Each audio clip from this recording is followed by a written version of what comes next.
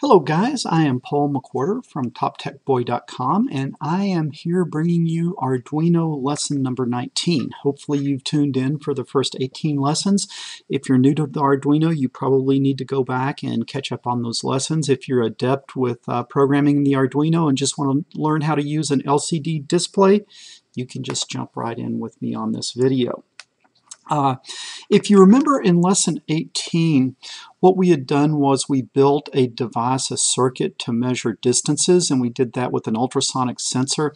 The ultrasonic sensor sends out a ping, and then it looks for the return ping to bounce off of something, and then based on the time that the ping travels to the target and back, you can calculate the distance to the target. And what we had done in, uh, in this uh, lesson number 18 is that we had displayed our results using a servo, and the servo had a little arrow on on it, and that little arrow would move back and forth on the servo and display the distance. And so it's kind of a cool way to, to get to know how to use a servo and play with the ultrasonic sensor. Uh, what we're going to learn today is we're going to learn how to use the LCD display. And the cool thing about an LCD display is it really lets you sort of kind of break free from your computer monitor and you're not sitting there having to have, have it hooked to a computer and not having to sort of be tethered to the serial monitor to get you know, to get uh, information back to the user. By having an LCD display, you could hook this whole thing up to a battery and you could sort of go mobile with your project. And all of a sudden, your project starts acting a lot more like a real product. It's capable of autonomous operation. It doesn't have to be tethered to, uh, to a computer to use. And so learning how to use an LCD is a pretty important thing. the LCD that we're going to be using is the LCD from the SparkFun Inventor Kit. Hopefully you guys have picked up one of those SparkFun Inventor Kits. If you have, then you can just exactly do what I'm doing in this, uh, in this lesson and everything should work. If you don't, if you have a different LCD, for this lesson to work, you need to at least have a similar one. A lot of these are, are, are very, very similar.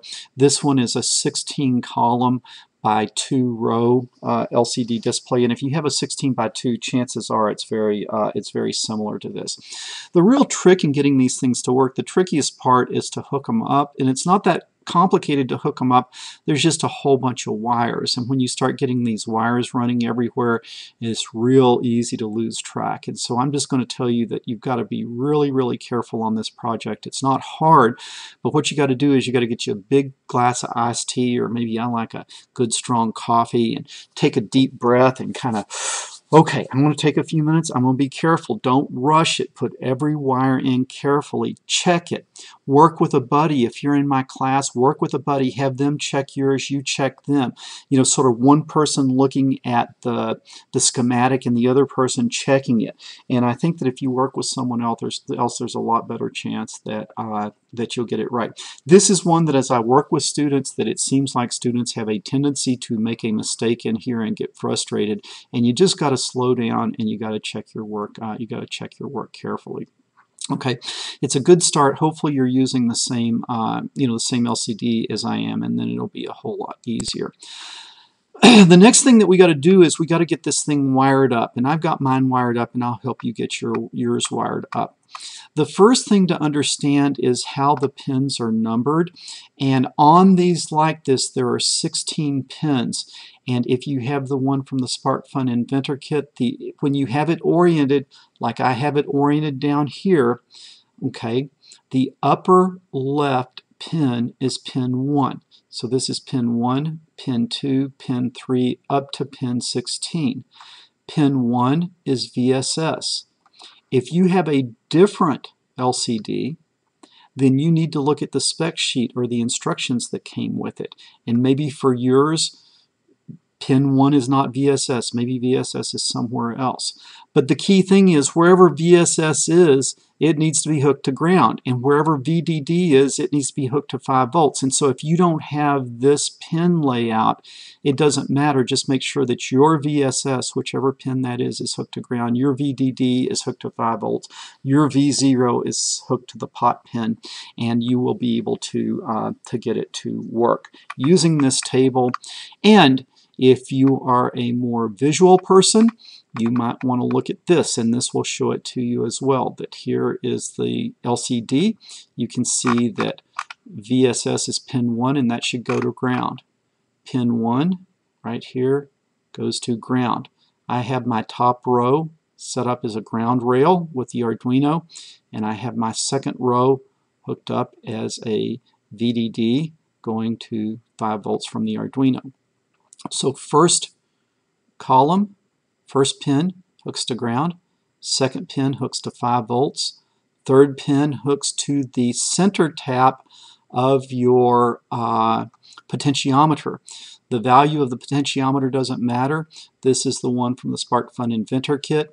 The pin 3 goes over to the center tap of the, uh, of the potentiometer. We're creating a voltage divider here, and so the top leg of the potentiometer goes to 5 volts. The center goes over to this pin 3 and then the bottom leg goes to ground. So you've just created a voltage divider. This is really important because this, uh, this LCD, this is basically setting the contrast of the LCD and you need that or your, your device is not going to work. And I'll come over here and show you, here's my potentiometer. If I turn it down, you can see the screen, screen sort of blanks out. If I turn it up too high, it just blanks out uh, with bright uh, uh, too much brightness.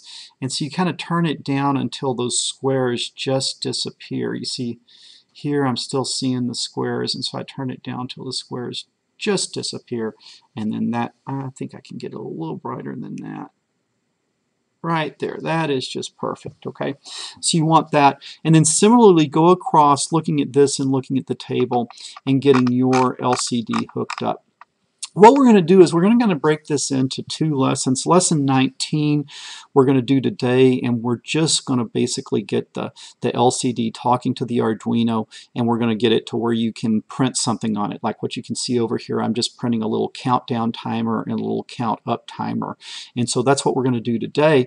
But don't take your uh, your uh, ultrasonic sensor circuit apart because then in lesson 20 we're going to have this working we're going to have your ultrasonic sensor working with your uh, with your display. If you're just interested in how the display works all you need to do is just follow along in uh, lesson 19 today and hook things up like this. Okay. Now once you get it hooked up it's pretty straightforward uh, to uh, get it set up here on toptechboy.com lesson 19 I sort of go through the commands you need to up at the top include the library. You need to then create your LCD object. You need to then begin it in the in, you need to basically turn it on or initiating it, initiate it in the void setup, and then uh, tell it where you want to print to, and then issue a print command, uh, LCD print, whatever you want to print.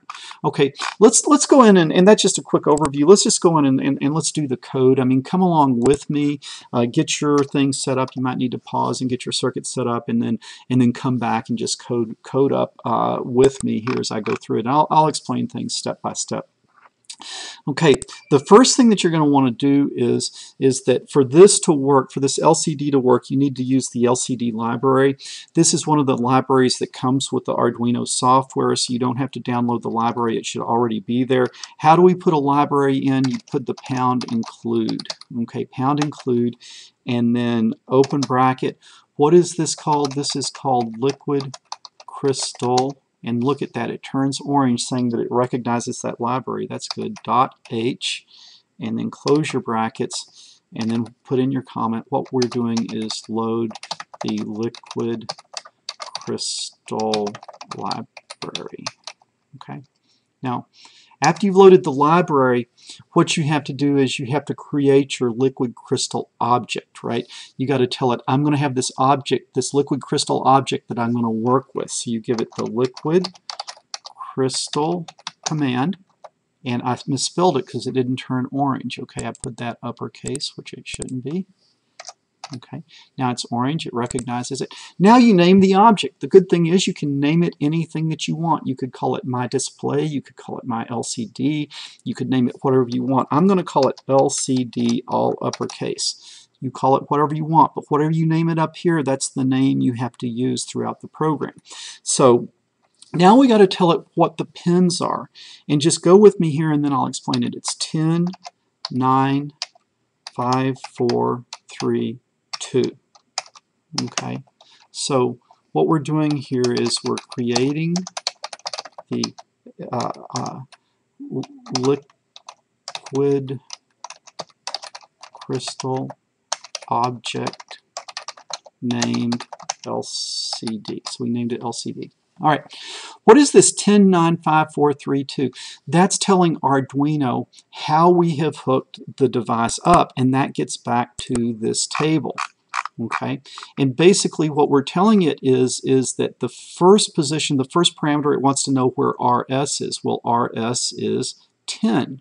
Okay, so let's come back up here and see if we can call this back up. So this is RS is 10. And then what are we telling it? We're telling it that E is 9. Okay, we tell it E is 9. And then after that, what you're what you're telling it is you're telling it that uh, that uh, DB4 through DB7 are Arduino pins 5 through 2 okay? And so this DB4 through DB7 are pins 5, 4, 3, 2. And that is what you are doing here in this command. And so if you did not hook that first one to pin 10, if you hooked it to 12, then that should be a 12. So this is just telling the Arduino where you put uh, hooked up those pins. And if you want more deep details, look at the lesson 19.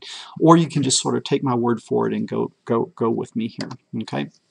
Now, we have a counter, so we're going to be counting up and counting down, so we're going to need a variable for that counter, and it can be an int, and I'm going to call it my counter, and I'm going to set it to 0.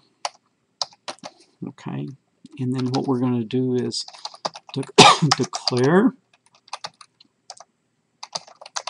your variable my counter.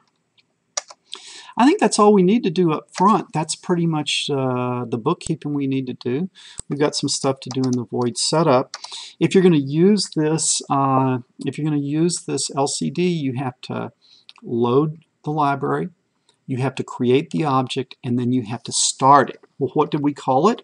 We called it LCD. If you called it my LCD, you should put my LCD here. But whatever you call it, the object name dot begin, and then tell it how big it is. Ours is 16 columns by two rows. So we tell it 16 comma 2. Now this is a little tad bit confusing because in math class they typically always tell you to start with row comma column like row by column but for these displays they want you to put the column first so column row okay so we're going to tell Arduino our LCD has 16 columns and two rows. That should do it to turn it on. And now, when you're going to print to this, uh, to this uh, LCD, you need to tell it where you want to print. Do you want to start here, like we did? Do you want to start here? You can print anywhere you want, but you've got to start by telling it where to start. And I want to start here. Okay. Now there's two things a little confusing. We start with column, so it's column, comma, row, and then we start with counting zero. And so this, where my M is here, this would be column what? Column zero, because it's the first one. And it would be row what? It would be row zero. Uh, so let's, uh, let's tell it to start there. Okay, so we are going to go to uh, LCD dot set cursor where we want to go, 0, 0. Uh, what we're going to do is we're going to set LCD cursor to upper left corner of display. Okay, so that just means when we start to print, we are printing at column 0, row 0. And if you don't do that, there is no telling where it would end up. So now let's do our first print. So we're going to say lcd.print. This is how we put something on the display. And where are we going to print? We're going to print my timer. Like that. I'm just printing a string to it. And then I open quote my string and then close quote. And then we are going to end in our semicolon. And then we print our first line. Okay, now why do we do that? Because we only need to print this one time. We can do the counter here over and over, up and down, but you only really need to print that one time, so I put it in the void setup. I think we are good as far as our void setup goes, and so now we need to create our little timer, our little counter. Well, how would we do that? We want to count up to 10, and then we want to count down from 10. How would we do that? We would do that in a loop. We could use a for loop or we could use a while loop. I sort of like using for loops, so I think I'm going to do mine with a for loop. So we're going to go for, okay, and then what are our conditions, our parameters? Well, I set up my counter to be my counter, so we say my counter equal, where do I want to start? I'm going to start counting with 1, I think, and then semicolon, and then we want to go as long as my counter is less than or equal to, I think I'm going to count to 10. Okay, and then every time through, my counter equal my counter plus 1. Start my clause in my clause. I always, when I create a for loop, I always go ahead and create the start of the clause, the end of the clause, and then everything between this open curly and this closed curly is going to be the commands that are done in the loop. Uh, if I like to put this closed right when I create the open, otherwise I forget to do it and then I end up with problems and so I just create it right there. And then here where we put our commands that are going to be executed. Hopefully you're getting familiar with uh, for loops at this point, but just remember you need three things. You need the starting condition, and then you need to loop as long as this is true, and then you need to increment your counter. So I want to start the first time through my counter is equal to 1. I want to loop as long as my counter is less than or equal to 10. Because I put the equal there, it will go through the 10th time with my counter equal to 10. And then each time through, I increment my counter by 1. Okay. So now, what do I want to do inside of here? Well, I better tell it before I print, I better tell it where to go. So I'm going to say LCD, and how do I tell it where to print? Set cursor. Okay, and where do I want to print this time? Well, I don't want to print over my timer. I want to print on the second row, and I want to print on the first column. So the first column is column what? It's column 0. Okay, first column is column 0. On the rows, this is row 0, this is row 1.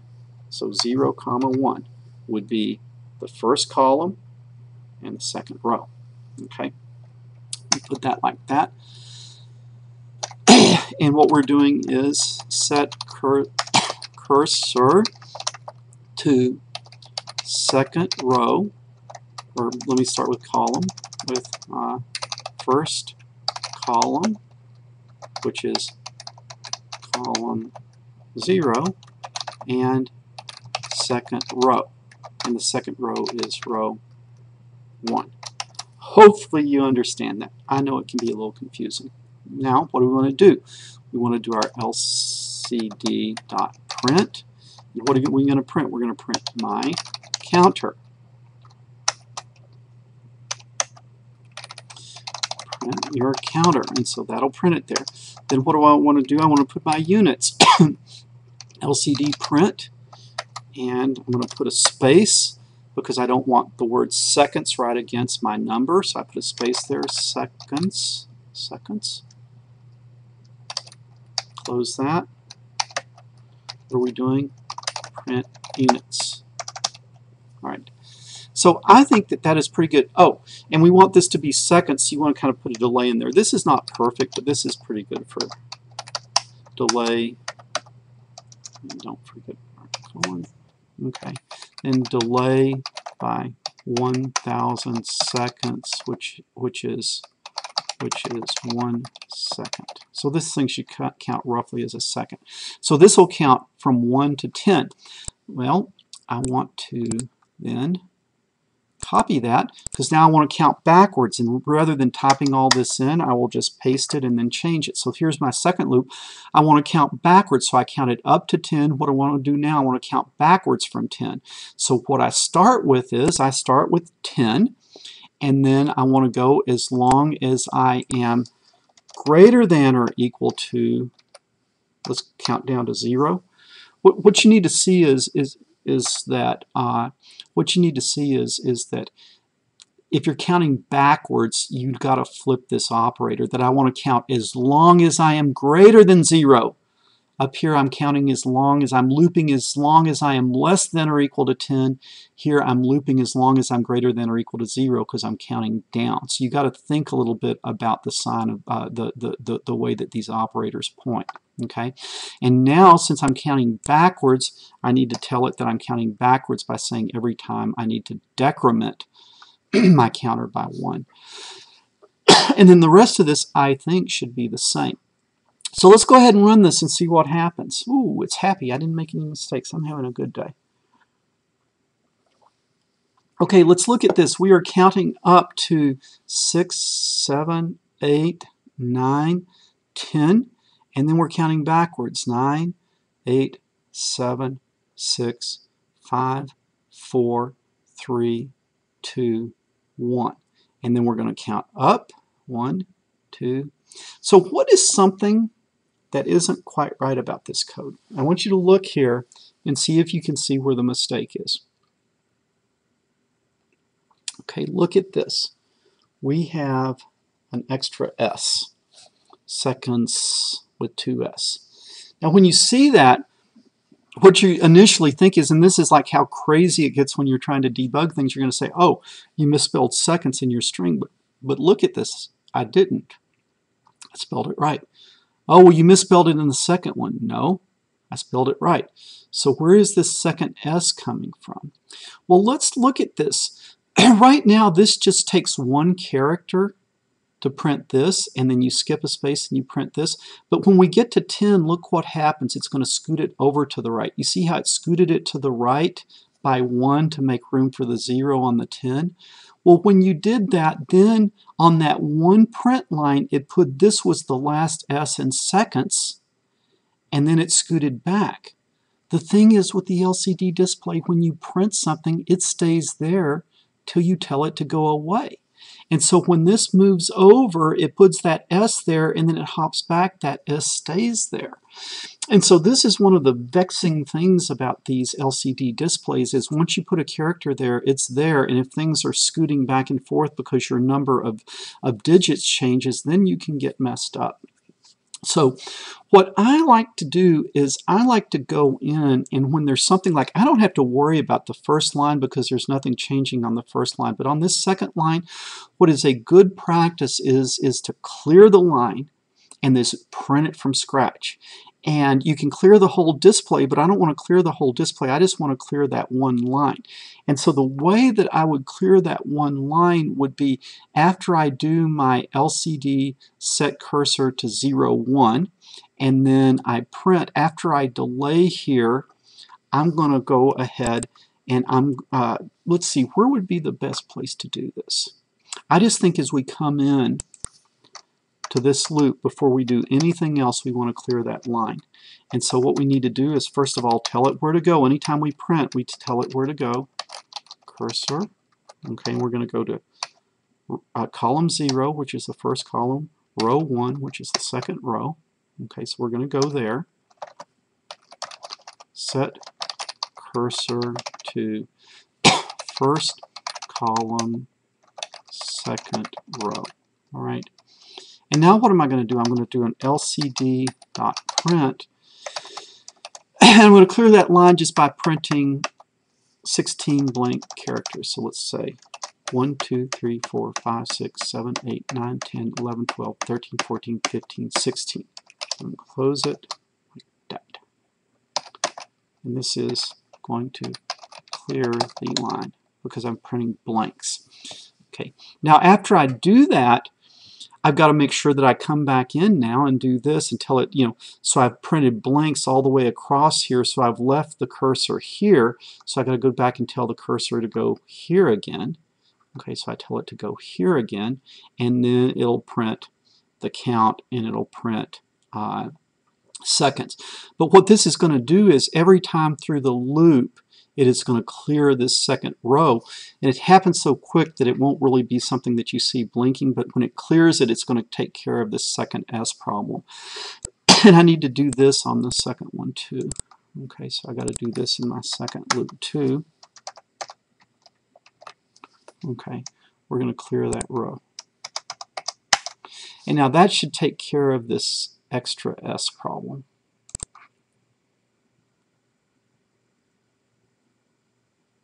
Okay, so now let's look. My timer. Let's zoom in on this, and I think maybe it'll uh, help you see it a little, uh, a little bit better. Uh, I should have zoomed in earlier.